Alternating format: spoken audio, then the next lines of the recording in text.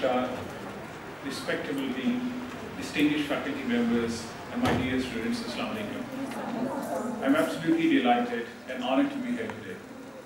Just last year, we launched Changemaker project at this campus to break down institutional barriers to youth at Changemaker.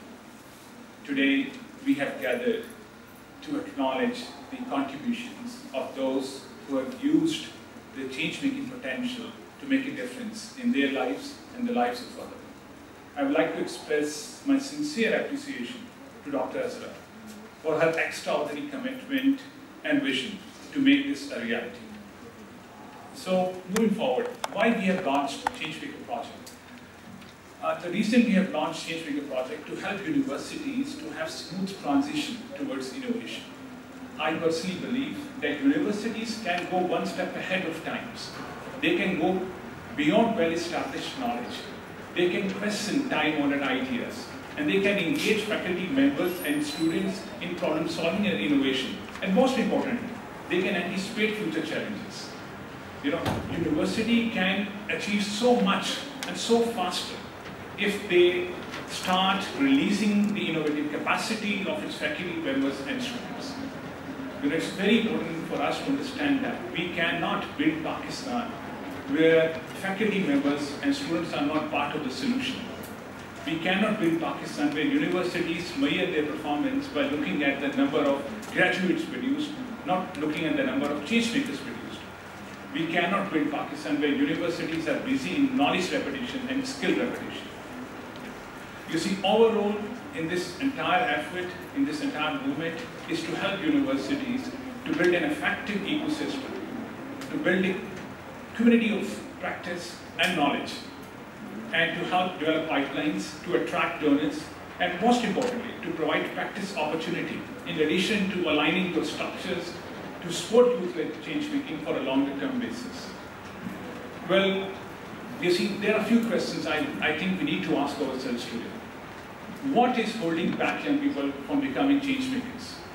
You know, it is not lack of aptitude. It is lack of mistrust, or I would say distrust. This distrust has proved so much, uh, you know, damaging for not only for young people, but for the society. You know, this distrust has destroyed many youth lives than a bad economy.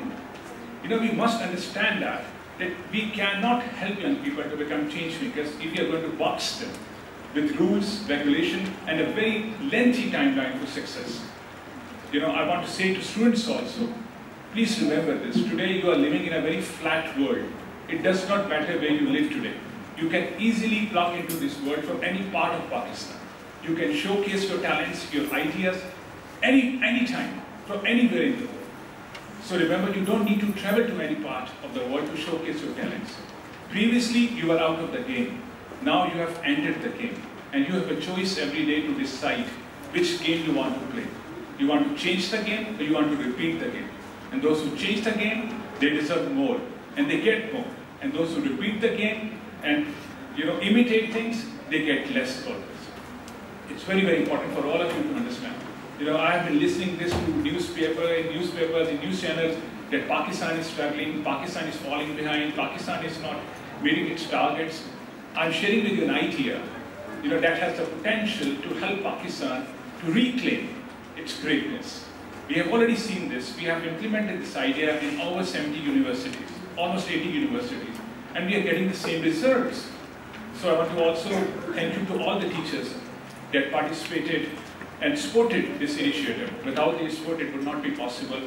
I want to tell them to please continue with their support to the students. Always remember, never run out of patience when you're working with students. It takes some time for crescent moon to become full. And always remember that, you know, students may forget what you teach them, but they will never forget how you treat them. And what I've seen in my 21 uh, what I've seen in my 21 years of journey in the field of youth development, that what happens when you disrespect a young person, a small insect takes birth in his or her heart. If you continuously this person, this insect becomes a dinosaur. And this dinosaur does things what we experience every day in this country. I hope you will continue with it. And I hope that you will change the sense of merit because I see that even the best universities, not only in Pakistan, in the world, when they measure young people, they look at, at academics, but a few intelligences, you know, like linguistic, like mathematical. I have seen in my life that young people with very modest linguistic, mathematical intelligence out, outperform and outshine many of the students who perform very well. So it's not about intelligence, it's more about trust. It's more about your ability to restore trust with the young people. So I hope that you will continue with the same momentum, with the same faith. In the end, I would like to express my heartfelt thanks to all the students that have participated in the competition. I'm so happy and delighted to hear your stories, how you have turned your frustrations into fascination. You see, when you are frustrated, you are least productive. And you are fascinated, you are most productive. I'm happy that you were able to conquer your limiting beliefs about yourself which might be society has imposed on you. So I hope you will continue with this journey and please count me in in all your efforts which you will take to advance the concept of nuclear change making in this country, in this university. Thank you very much once again.